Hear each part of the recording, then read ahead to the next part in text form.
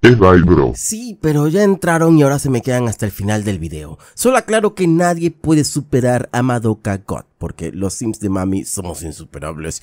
Pero hablemos de la propuesta de Majo Shoujo de esta temporada, Blue Reflection Ray.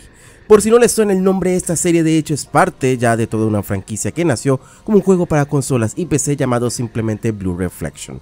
Uno de esos títulos bien underground dirigidos para un nicho muy específico, vírgenes.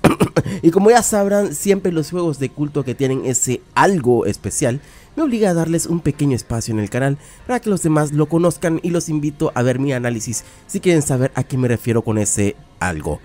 Pero regresando a la serie, ¿vale la pena perder 30 minutos de tu vida semanalmente por este anime? Bueno, puede que sí, puede que no.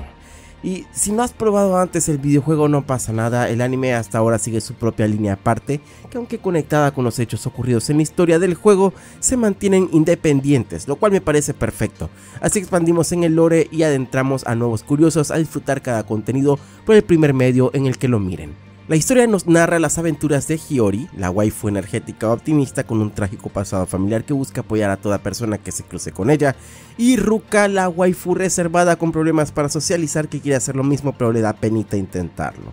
Y por cuestiones del destino, lo cual siempre es usado como excusa banal para avanzar estos guiones, se topa con Momo, que es una chica mágica, aquí conocidas como reflectoras, quien servirá como su aliada y mentora ahora que estas dos han ganado el poder de transformarse y poder ayudar a las demás chicas a proteger sus sentimientos cristalizados conocidos como fragmentos de otras reflectoras que intentan robárselos y dejar a las pobres chicas emproblemadas como cascarones huecos. Hasta aquí, de hecho, la historia suena muy regular, pero poco a poco nos damos cuenta que, eh, bueno, en realidad es una historia muy regular.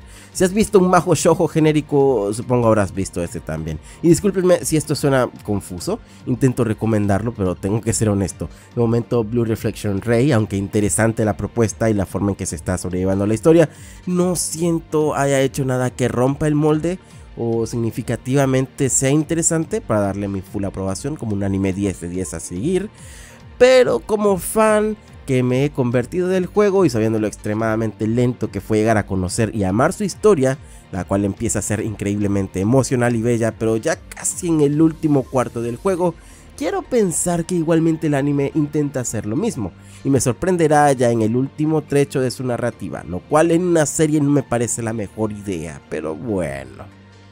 Si algo quiero resaltar es que la dirección artística, aunque muy simplista, la verdad me parece muy buena, llegando a trasladar ese sentimiento de estética y limpieza del juego a la animación, tanto en escenarios como en personajes.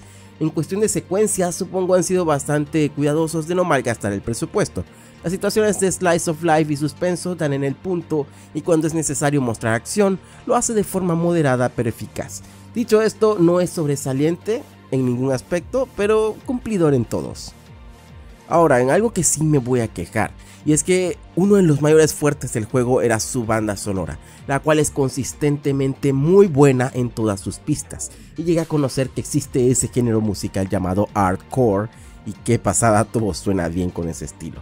Lamentablemente en el anime no sé por qué, pero el compositor del juego, Hayato Asano, no hace ni una sola pieza. Extrañamente no he escuchado ninguna pieza del juego en la serie y claramente ninguna es del género hardcore, lo cual la verdad me molesta un poco porque han quitado una de las características más fuertes del juego y la han reemplazado por algo más genérico, aunque el opening y el ending suenan muy bien, ¿eh? eso sí, les doy mi pulgar arriba de aprobado. Hasta el momento en que hago este video llevamos 6 capítulos y como primeras impresiones el ritmo de la historia se me hace algo lento. La trama por supuesto tiene sus toques de misterios que tienen que resolverse con diversos flashbacks de personajes, monstruos que aún no explican qué son y qué quieren, y por supuesto el hecho de que haya una lucha de reflectoras versus reflectoras sin saber uno de los bandos por qué de este conflicto.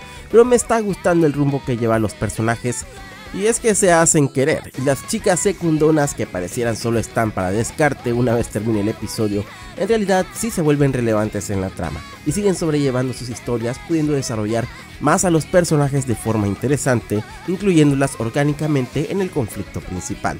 Algo que sorprendentemente el anime está haciendo muy bien a diferencia del juego donde terminando el capítulo de cierto personaje lo mandábamos directamente al abismo de la irrelevancia. Y sí, que suena bien negativo unos cuantos minutos atrás, pero creo que si te llegó a interesar este anime en los primeros capítulos, puede que te lo termines viendo completo de forma casual, como esa serie que ves mientras estás cenando o algo así. Tómalo como una recomendación o favor personal cuando te pido que lo veas, ya saben, tratando de apoyar a su franquicia irrelevante y bueno, estas son mis primeras impresiones. Falta mucho para poder darle un análisis completo a esta serie, lo cual lo más probable es que lo haga una vez finalice. Y ver si realmente alcanzó el nivel de interés que me dejó el juego o simplemente se convierte en un producto genérico más. Por supuesto que aquí te invito a que des like y compartir si te ha gustado este video, si quieres que hable de otros animes de esta temporada, acepto recomendaciones y agradeciendo en sobremanera a todos los miembros que hacen posible que pueda dedicarme a crear más y mejor contenido de forma constante. Y si quieres convertirte en uno de los miembros del canal, pues checa los beneficios y demás que ofrezco dando clic en el botón unirte. Sin más que añadir, nos vemos en otra.